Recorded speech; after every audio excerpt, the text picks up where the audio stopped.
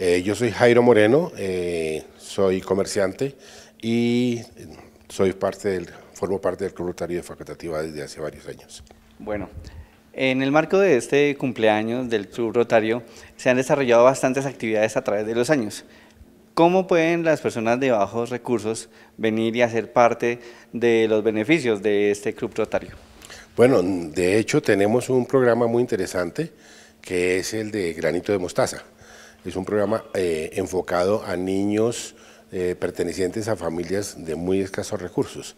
Estos niños vienen aquí y reciben el almuerzo a diario durante los cinco días hábiles de la semana, de lunes a viernes, y tienen la oportunidad de practicar algunas actividades de culturales, de danza, eh, origami, plastilina. Y aparte de esto, tienen su almuerzo y refuerzo escolar en sus labores académicas. Bueno, nos decía el abogado que eh, varias personas hacen donaciones voluntarias. Si una, siendo, siendo parte del Club Rotario, si una persona o una empresa quiere ayudar a esta clase de, aportes para los niños y jóvenes, ¿cómo lo puede hacer? Tenemos varias formas. Eh, nosotros tenemos un programa que se llama Amigos Solidarios.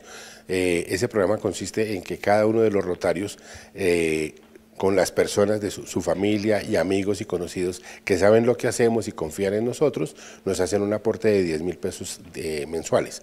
Pero es muy complicado estar recogiendo 10 mil pesos mensuales, y aunque sea muy poquito, es preferible entonces para facilitar esto que la persona nos haga una donación de 120 mil pesos al año.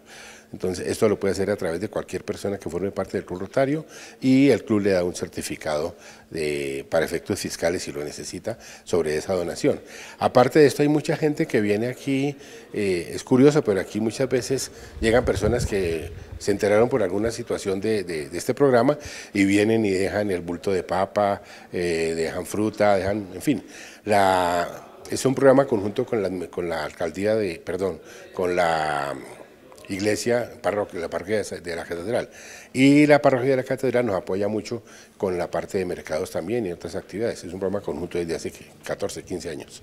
Bueno, hay varias personas que, como usted, hacen parte de este club rotario. ¿Qué los anima a ayudar a tanta gente?